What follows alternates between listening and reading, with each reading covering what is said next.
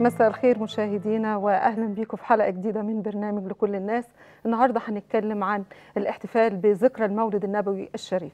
ضيف النهارده دكتور يحيى المنسي محاضر بوزارة الأوقاف. أهلا بك يا فندم. أهلا وسهلا بحضرتك وبجميع المشاهدين الكرام. أهلا بك في بداية حديثي دلوقتي عايزين نعرف كيف نحتفل بمولد الهادي عليه أفضل الصلاة والسلام. بسم الله دائما ابدا في كل ابتداء والحمد لله دائما ابدا دون انتهاء. وصلاة وسلاما على سيد الأولياء والأصفياء حبيب رب الأرض والسماء. سيدي يا رسول الله الشمس يطلع في النهار ضياؤها ويغيب ضوء الشمس عند المغرب. لكن شمس محمد وضاءة مر الزمان وجدتها لم تغرب. ما الشمس في كبد السماء ما ضياؤها إلا شعاع بان من نور النبي. اللهم. صل وسلم على الرحمة المهداة وعلى النعمة المزداة وعلى السراج المنير. حضرتك طرحتي سؤال مهم وهو كيف نحتفل بذكرى مولد المصطفى صلى الله عليه وسلم؟ ما أريد أن أنوه عليه بداية أن رسول الله محمد صلى الله عليه وسلم باق فينا. المصطفى محمد لم يمت. إذا كان قد رحل عن دنيا الناس بالجسد إلا أنه باق فينا. بذكرات يعني بذكراه العطرة ما زال موجود. الله الله بالقدوة الطيبة. وذكراه العطرة. بالسيرة طبعا. العطره بالأقوال والأفعال. التي هي من سنن المصطفى محمد صلى الله عليه وسلم. والله تعالى قال واعلموا أن فيكم رسول الله. واعلموا أن فيكم من؟ رسول الله. المصطفى محمد فينا. باق فينا. موجود بيننا. إذا كان أعيد ثانية قد رحل عن دنيا الناس بالجسد إلا أنه باق فينا. ما أريد أن أؤكد عليه وهو يعني شيء أصاب الجدال. بالفعل. كيف أصاب نحتفل؟ الجدال. ناس تقول إن هي بدعة. آه. وناس تقول لا ده هي إن إحنا بنحيي ذكرى الرسول عشان نتذكر الرسول ونتذكر آه، أفعاله الحسنة وإن إحنا نقتدي به آه آه آه. فحضرتك آه، المتشدقون المتشدقون والمعسرون هم الذين يقولون بأن الاحتفال بمولد رسول الله بدعة. والمصطفى محمد نعم. المتشددون. نعم. اذا مباح إن إحنا نحتفل. طبعا. وإن إحنا لأن دي حاجة مهمة مظاهر الحلوة في السوق. إن إحنا ندخل على أولادنا بحاجة حلوة في مناسبة جميلة زي دي. فده أنا بشوف إن ده تعكير لصفو الاحتفال إن إحنا بنعكنن على المسلمين. فحضرتك بتقول معلومة حلوة إن إحنا لأ إن إحنا المتشدقون دول يسكتوا وإن إحنا يجب يبقى دايما عندنا سماحة في ديننا. اتفضل. المصطفى محمد صلى الله عليه وسلم احتفل بيوم مولده. صح. احتفل حبيب الحق محمد حيث أنه كان يصوم يوم الاثنين ويوم الخميس ولما سئل رسول الله. ما السر يا حبيب الله في صيامك لهذين اليومين قال المصطفى محمد عن يوم الاثنين ذاك يوم ولدت فيه. وقال عن يوم الخميس بأنه يوم ترفع فيه الأعمال إلى رب العالمين.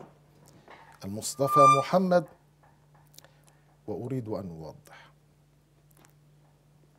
اوضح أن دار الإفتاء المصري علماؤها الميسرون. أصحاب الوسطيه والاعتدال وهذا هو منهج الأزهر الشريف منارة العلم وقبلة العلماء. دار الإفتاء على أن الاحتفال بمولد رسول الله جائز ومباح بل هو تكريم للمصطفى محمد.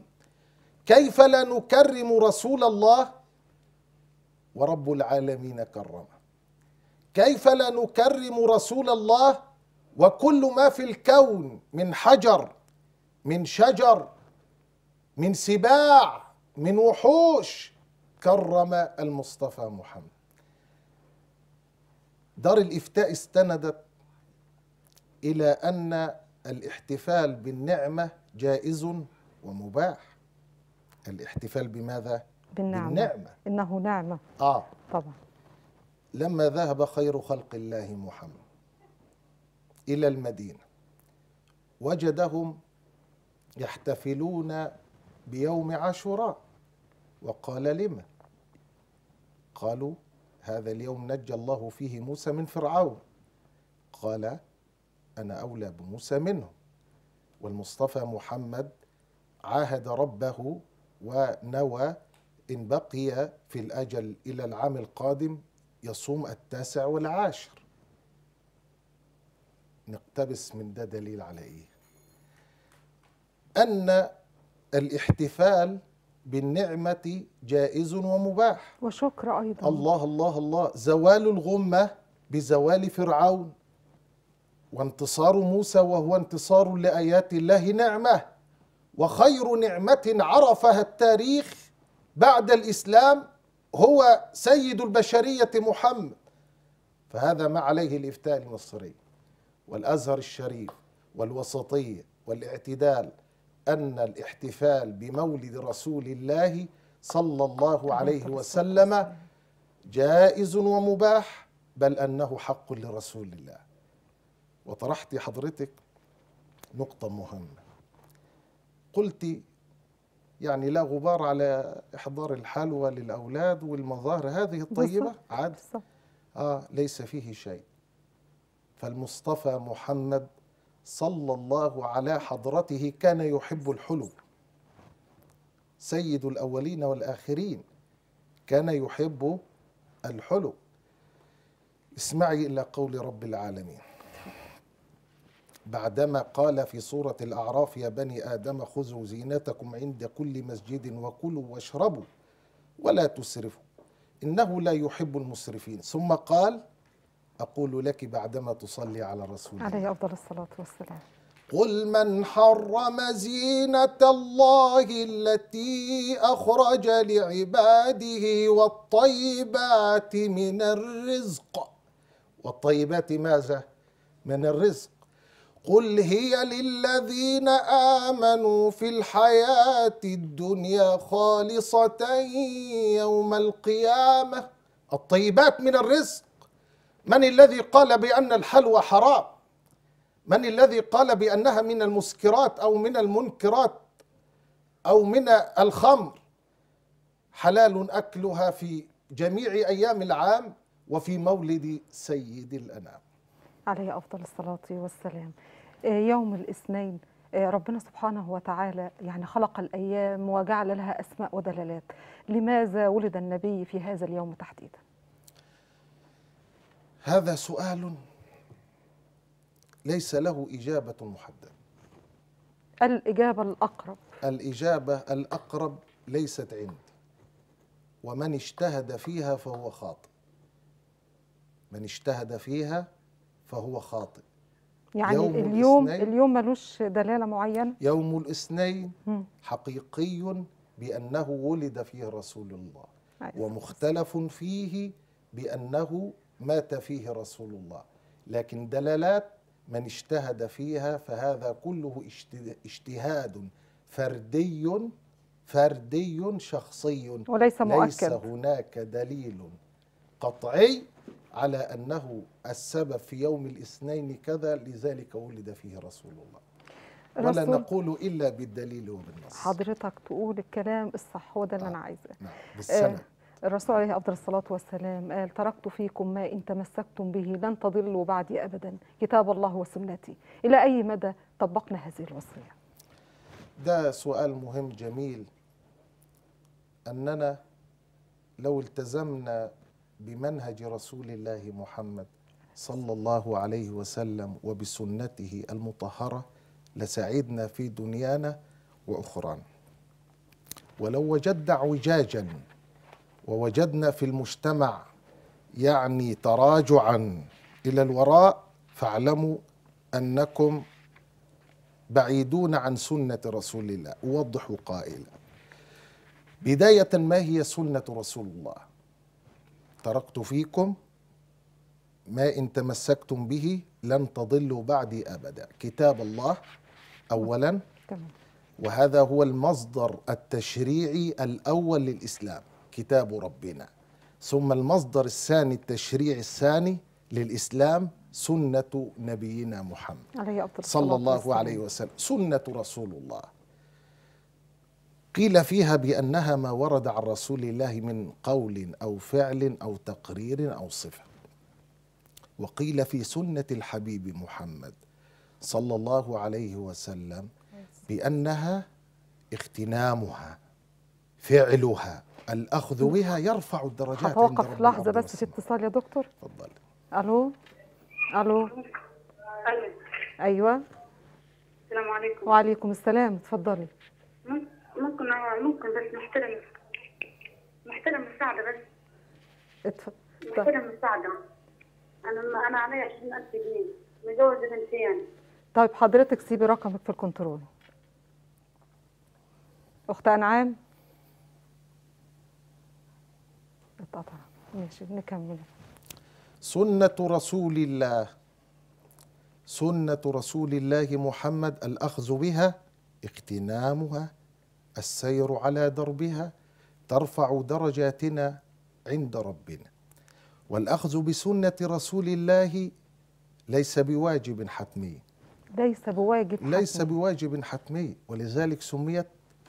سنة يعني مش فرض إن أنا لا لا مش لا لا. لازم إن أنا الفرض. شيء والواجب شيء وسنة رسول الله شيء آخر فعل سنة رسول الله يجبر به الفرض ولكن مستحب مستحب يا دكتور. طبعا. إن إحنا لا لا سنة. أقول سنة. تمام. والسنة فعلها يرفع الدرجات عند رب الأرض والسماوات والسنة فعلها فيه أجر وثواب. وتركها ليس فيه حرام.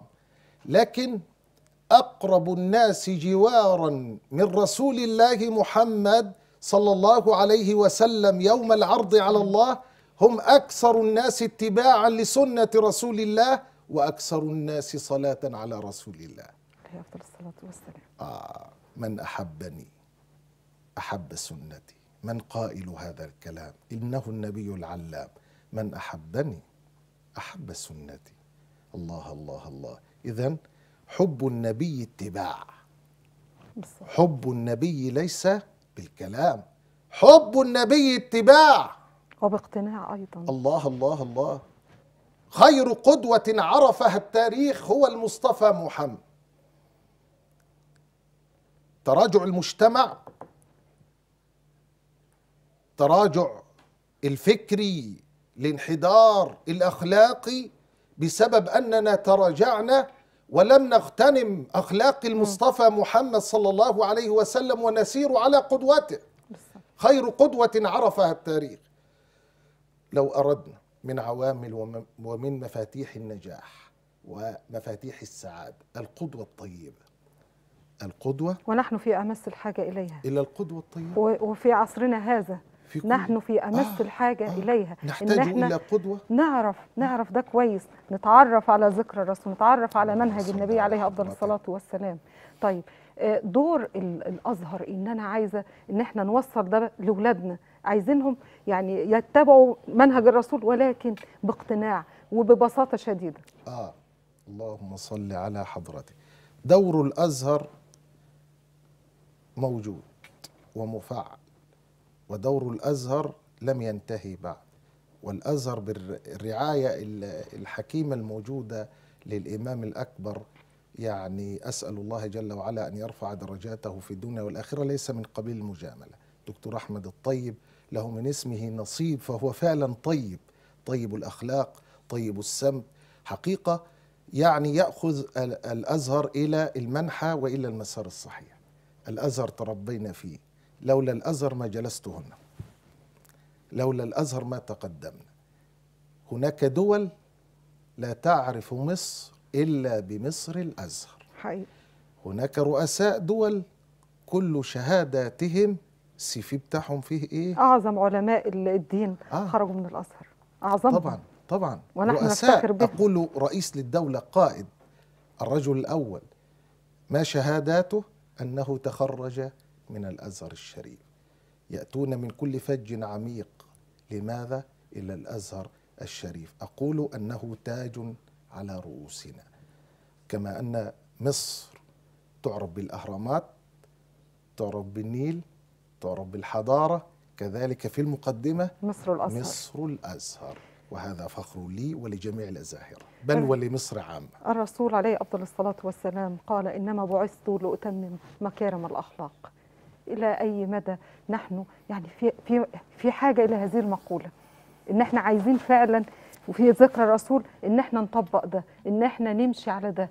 آه. مكارم الاخلاق إحنا النهارده محتاجينها فعلا وفي أمس الحاجة إليها. إزاي إن أنا أوصل ده؟ مكارم الأخلاق. أولا هناك فرق بين مكارم الأخلاق وبين الأخلاق. أكيد. الأخلاق لو أنك أنت ألقيت علي السلام أن أرد عليك السلام. الأخلاق لو أن إنسان محترم عاملني بطيب أن أعامله بالطيب. الأخلاق أن أقابل الحسنة بالحسنة ولا أنكر الفضل لأصحاب. أما مكارم الأخلاق أن تعفو عمن ظلمك تعطي من حرمك تصل من قطعك. هذه هي مكارم الأخلاق. موجودة من قبل النبي محمد؟ نعم.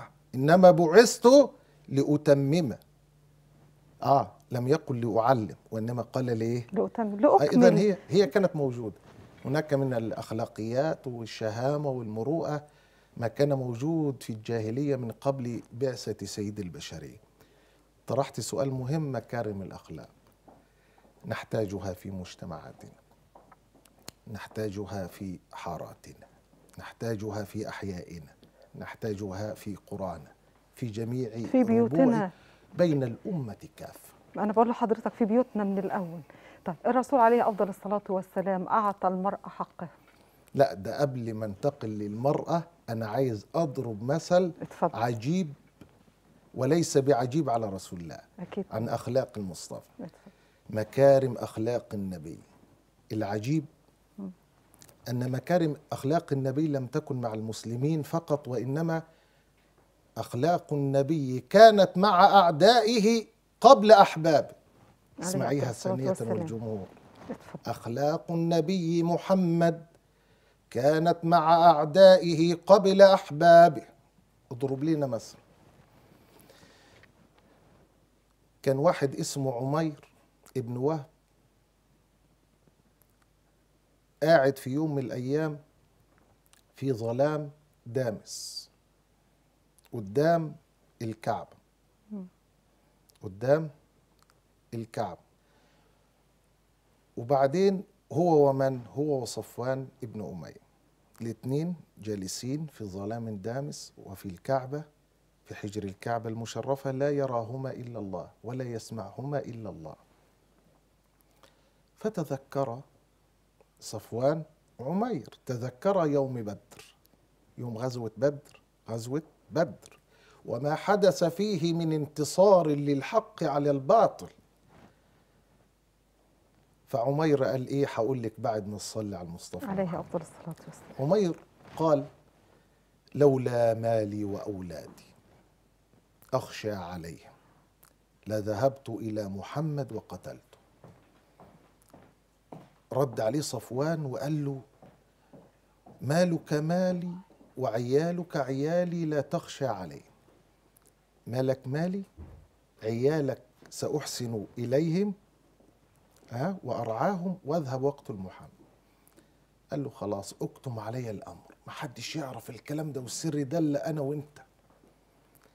على طول عمير بدون تردد راح غامس السيف بتاعه في السم وعلى طول ركب وذهب إلى المصطفى محمد.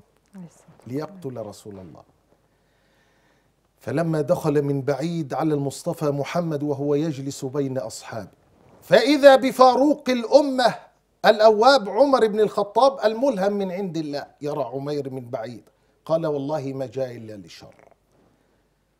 فراسه عمر آه. رضي الله عنه. والله ما جاء إلا للشر والله ما جاء بخير. وأمسك عمر بن الخطاب عليه سحائب الأنوار من العزيز الغفار بثوب عمير. ما الذي ما الذي جاء بك يا عمير؟ قال ولدي.